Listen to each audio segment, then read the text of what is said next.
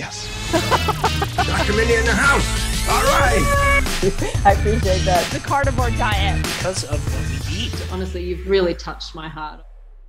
And the more I understand the food industry, the more I understand concepts like you just said, I think the only way out is for us to fast because we have to tap into a mechanism where the body can self heal from these kind of chemical traumas. Yeah, and that's a very good point. Of course, you know, fasting is, is a part of all great religions.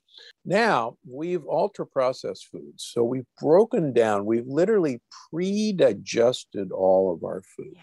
So we now have simple sugars, simple pre digested amino acids, and simple fats. And what's happened to all of us is that these things all now arrive simultaneously at our mitochondria.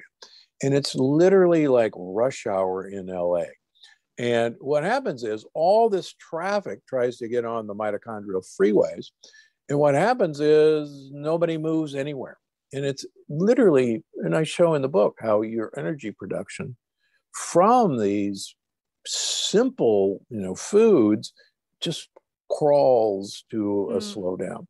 So to get to your question of fasting, most of us no longer have what's called metabolic flexibility. Yeah. Norm, normally, our mitochondria can switch on a dime from using sugar as a fuel to using fats as a fuel. But the vast majority of us no longer have that ability to switch back and forth. Yeah. And some people call it metabolic syndrome, insulin resistance, metabolic flexibility, inflexibility, whatever we want to call it. One of the answers to this is to give your mitochondria less work to do, give them less time that they actually have to do a lot of work, and give them more time to recover.